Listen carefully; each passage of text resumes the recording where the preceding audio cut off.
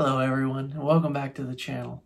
I'm Chris, and today I'm going to rank my five favorite episodes from The Simpsons Season 1.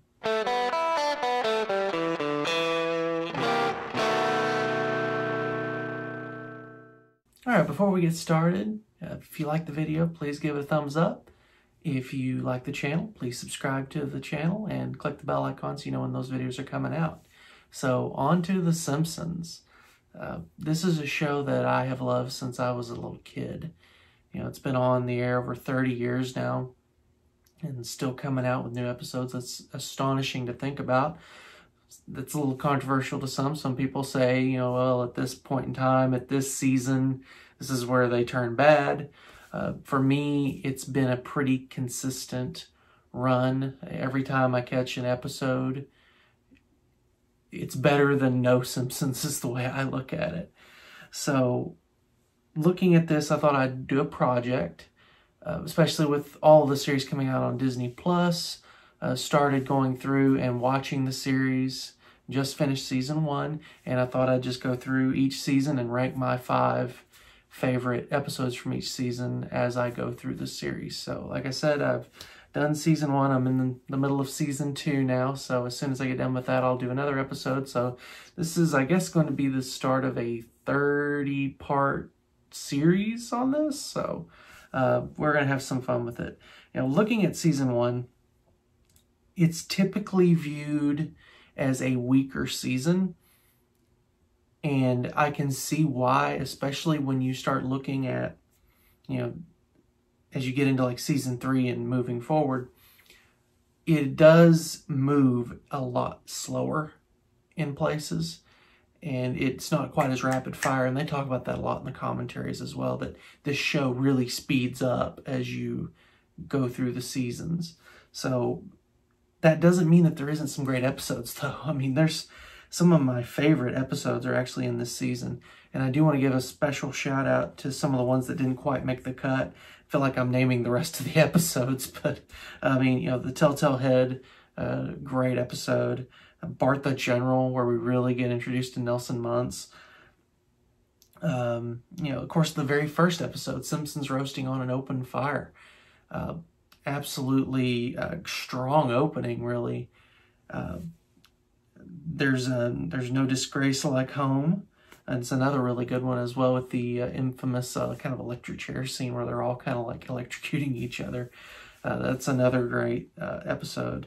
Really not a, a weak episode to be found. There are some that just move really slow.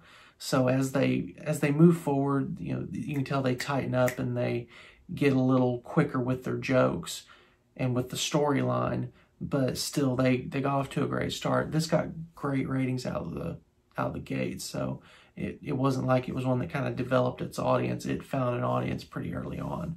So, all right. So we're to go with these. I'm really excited to kind of share this with you guys. So let's dive in. My number five episode for season one of The Simpsons is Life on the Fast Lane. Uh, this, of course, has Albert Brooks as Jacques, which is, of course, Marge's uh, love interest, uh, temptation, you should say. And uh, I thought their chemistry, Marge's and Jacques' chemistry, was really good. Of course, it all comes from a, which will be a classic trope that we'll see throughout all of the series, which is Homer is an idiot and Homer is kind of selfish and thinks really of himself first. And it's really not until he kind of gets hit on the head and hey, you're being an idiot, that he kind of comes around and realizes that hey, you know, I'm maybe maybe I'm being a little little selfish on this. So, you know, that basically happens. You know, it it's Marge's birthday, and Homer forgets that it's her birthday and gets her a bowling ball with his name on it, drilled with his finger size. Yeah, he was clearly thinking that Marge wasn't going to take up bowling and he was going to keep the ball for himself. Very selfish on Homer's part. Well, out of spite, Marge just decides, hey, forget this. I'm just going to go use the ball. And so, of course, she meets Jacques at the bowling alley, and Jacques kind of sweeps her off her feet. and you know actually gets her you know a bowling glove with you know Marge you know written on it and a very sweet gift. And of course Homer suspects that there's something going on and there is something going on. Although I would make the argument it doesn't quite go so far as for it to be an actual affair. Um, it definitely was a huge temptation for Marge. And in the end of course she ends up uh, choosing Homer and choosing her marriage. And uh, there's the big happy ending at the end. So, um, of course, one one of the things that makes this one of my favorite episodes of this season is Albert Brooks as Jacques. Typically, if Albert Brooks is in an episode, he's probably going to be the one of the really good things about that episode. He is so strong in this series, as he is in various other things that he's done throughout his career. Um, but he really does a good job of that back and forth with Marge and Julie Kavner as Marge just does a wonderful job. Great chemistry, and of course, you know a lot of his lines. Still, the you know the, the one about the one about brunch is is really is a really good one. Um, another thing I love is is just the whole idea of the bowling ball birthday gift. It's such a great way to show Homer really doesn't think well and doesn't doesn't really think outside of himself until he's kind of forced to. And I love that Marge was so spiteful in that moment. Like, yeah, I'm going to use this ball. And, and Homer just kind of blurts out, you know, like, well, why would you want to do that? Like, think your cover's blown, dude. But um, it was a it was a great way to kind of further that plot along. It's a great plot device to have there.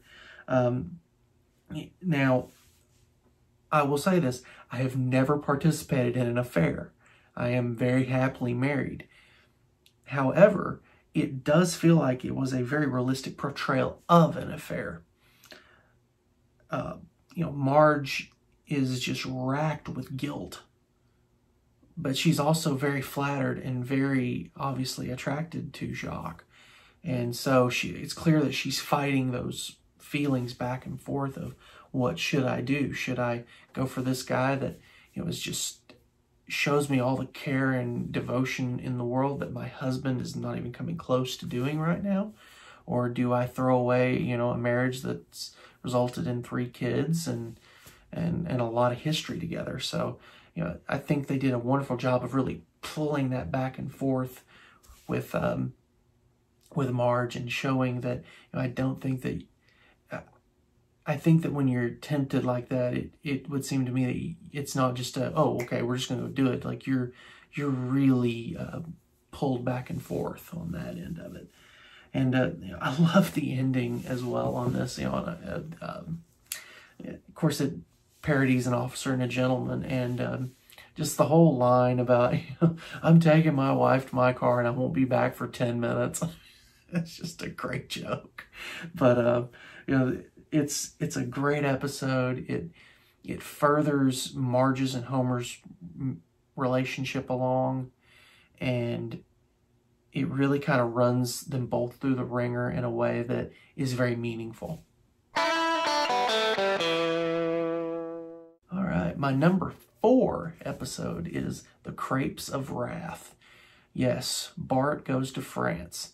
Uh, of course, Bart has kind of he's ticked off his father, he's ticked off Principal Skinner. Principal Skinner comes up with the idea of sending him to France for three months as part of a foreign, exchange program. In his place is an Albanian boy named Adil. And of course, shenanigans ensue. But you know, Bart thinks it's going to be great. We're going to go to France. It's going to be awesome. And of course, it's not awesome. Uh, he shows up at the chateau, and the the guys there just, I mean, they they make him sleep on the floor. They make him you know, taste, you know, taste test wine that's been contaminated with antifreeze. I mean, you know, they make him pedal in the rain to go get, you know, stuff from the store in town. I mean, they're just really horrible to him. And, you know, it's, it's kind of despicable in a lot of ways. And of course, with a, with home, of course, Homer really takes to Adil who ends up actually being a spy and the FBI ends up arresting him and you know, kicking him out of the country, basically, exchanges him for another American child spy, which was, there was a whole different subplot there. You know, it's like they had a lot of history there. But um, of course, you know, Bart is able to learn French and tells uh, the French policeman that those guys are contaminating their wine with antifreeze for the taste, I guess. Is that a thing? I, I really fail to see where that could be a thing. You know, if someone wants to better educate me on wine, then maybe, you know, throw, throw a line in the comments to me about it because, you know, I don't see how antifreeze would really help, but whatever. Um, but, you know, the French policeman, you know, figures it out and then, of course, arrests the gentleman and, you know, Bart is given an award and he's able to go back and he's all the better for it. He's a lot better for his experience until, of course, the next episode, of course, because everything's forgotten in the world of The Simpsons by the next episode, which they joke about later on, too. Uh, so, you know, it's it's a great Bart episode. It's I love that it's the first location show, really, where The Simpsons, even though it's not the whole Simpsons family, but, you know, The Simpsons go to blank.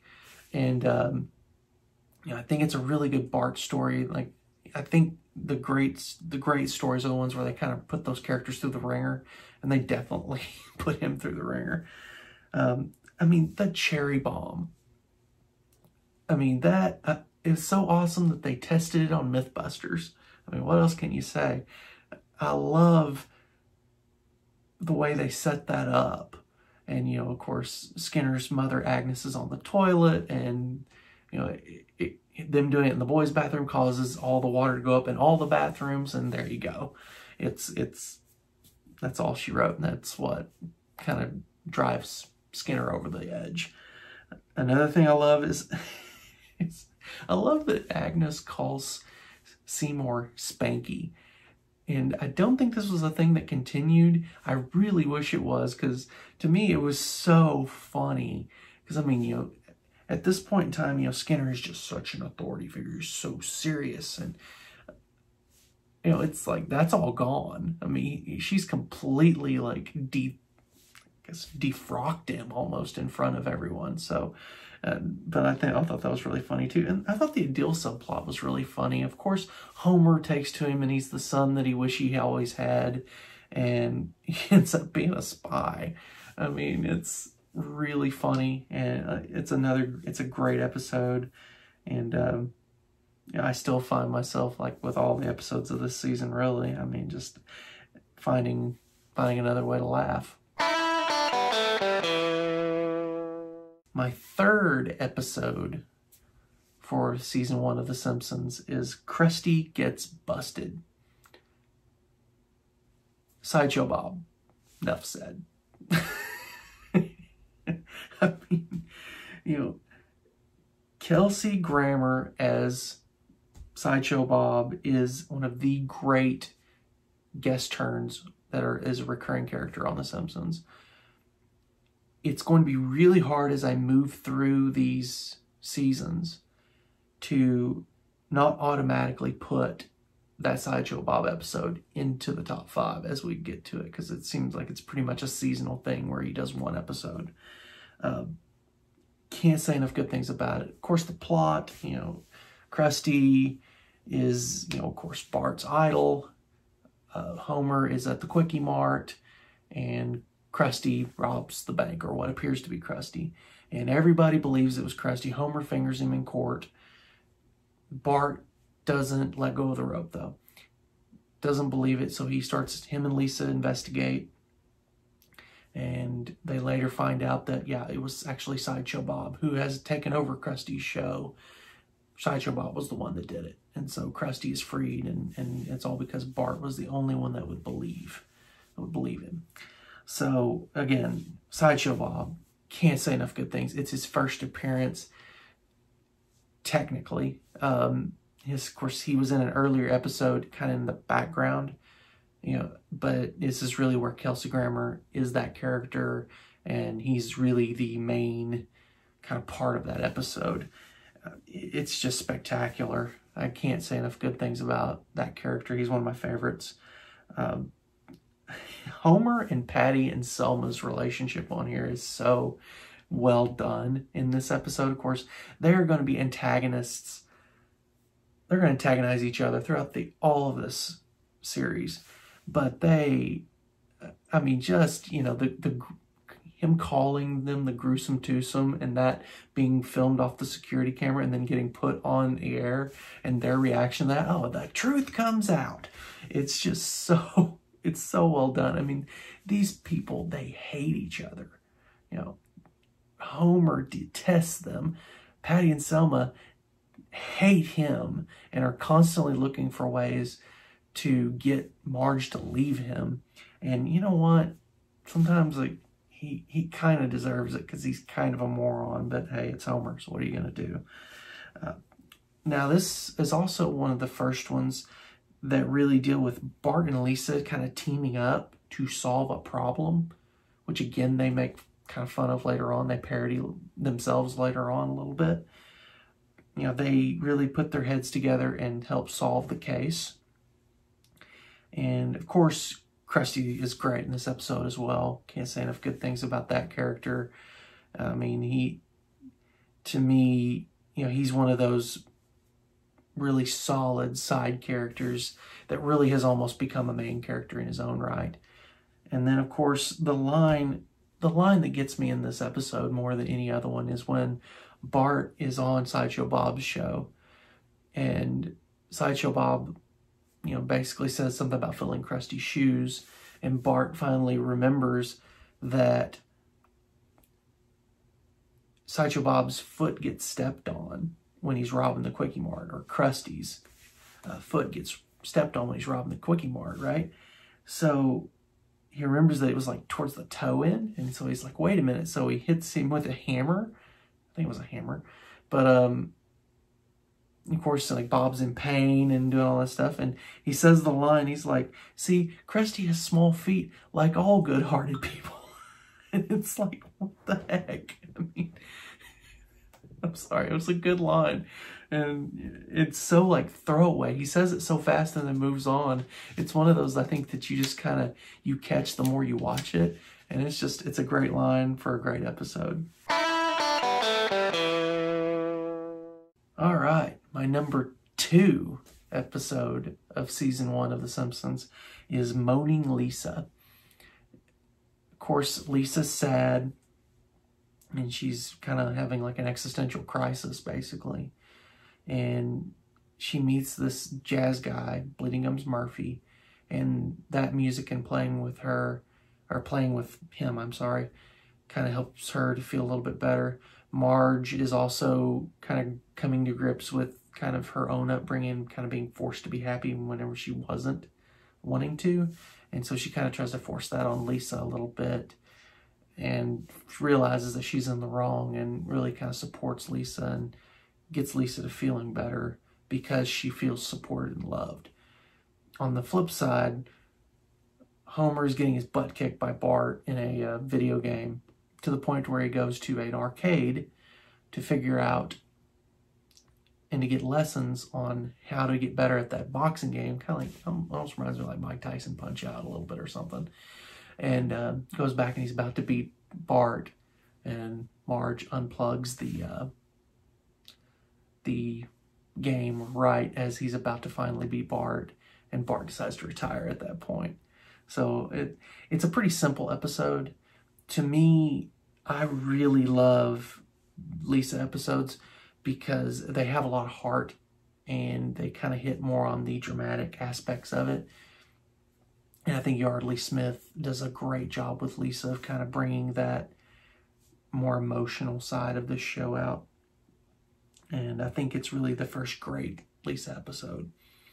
And of course, Bleeding Gums Murphy, being a, uh, a musician, as you can tell in the in the background, um, loved to hear a sax man just wailing away and you know, Bleeding Gums was a really good character and is really kind of that pseudo mentor father figure kind of role for Lisa in her quest to become a great jazz player.